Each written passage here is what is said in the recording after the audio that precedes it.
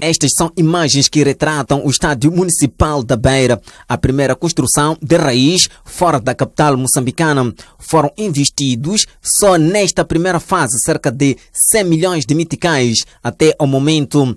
A infraestrutura tem a capacidade para 22 mil pessoas e reúne os requisitos básicos para acolher jogos internacionais.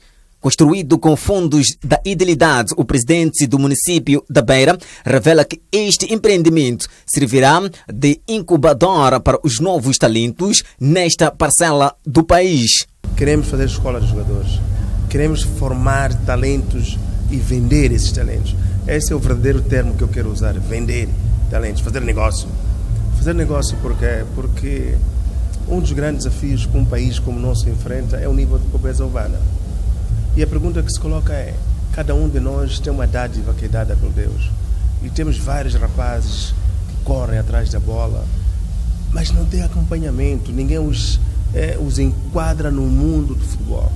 Portanto, é preciso buscar esses pequenos, começar a discipliná-los desde pequeno. E, quiçá, amanhã temos pessoas que entram no mercado do negócio do futebol. E a partir da venda do futebol, os pais ganham, o município ganha, os, as, os clubes que estão por detrás deles também ganham e a sociedade moçambicana ganha. Portanto, o país precisa de eh, sair dos aspectos tradicionais e diversificar a oportunidade econômica. O futebol é uma grande oportunidade econômica. Ismango assegura que estão criadas as condições para garantir a sustentabilidade desta infraestrutura desportiva.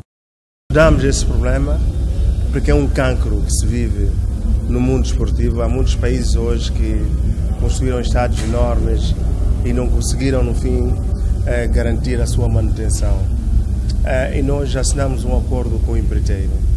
Como sabe, estamos na primeira fase e queremos que, de fato, o empreiteiro garanta, dentro do período de garantia, tudo o que é gestão em termos de infraestrutura e não em termos de benefício em si.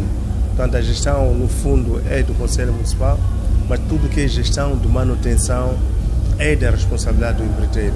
Queremos, com isso, garantir que a relva esteja lá, o sistema de tratamento da, da relva. Tivemos oportunidade, com aqueles que montaram a relva, treinar o pessoal do Conselho Municipal, treinar o empreiteiro, no sentido de gerirmos melhor a relva. A estrutura é sólida, mas mesmo assim, sobretudo os balneários, a rede de água, a rede de esgoto, o sistema de rega precisa de um controle permanente.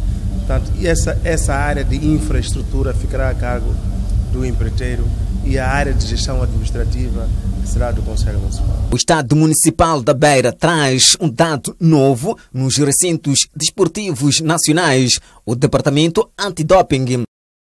O vereador de saúde na Beira explica os motivos. Para evitar que os atletas apareçam com algumas substâncias eh, de caráter de drogas, não é? que é para apanhar aquela situação que eles chamam de ganhar força.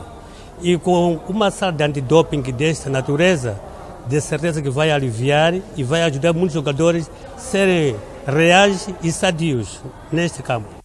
A relva sintética não tem sido consensual entre os praticantes do futebol, mas Fernando Dias, presidente da Associação de Futebol de Sofala, explica a opção para este piso. Produtos sintéticos, para além de permitir o uso constante do, do seu piso e movimentando vários atletas, várias equipas, também cria condições para que realmente abra espaço para o treinamento de grades. Por exemplo, neste sintético, a Seleção Nacional pode vir cá treinar. Este é, é o discurso de ontem, de que o sintético não faz bem. Não é verdade. É verdade que o natural, a relva natural, é das melhores relvas que, que se possa profissionalmente aceitar, mas o sintético só vem aliviar vários problemas que o mundo tem. Não é fácil hum, eh, fazer a manutenção da relva natural, como deve se depreender. É regra constante, uma vez tem que entrar uma vez por semana para o treino, ou a segunda vez que se entra semanalmente é para fazer um jogo oficial. Mas no sintético já não. Imaginemos que o nosso país tem, por exemplo, seis, sete, oito estádios sintéticos. É alívio para todos nós. Portanto, não é verdade que os campos sintéticos fazem mal. Por contrário, os campos sintéticos fazem muito bem o desenvolvimento do futebol. Segunda fase das obras do Estádio Municipal da Beira compreenderá a finalização das bancadas, a vedação e a construção de infraestruturas comerciais.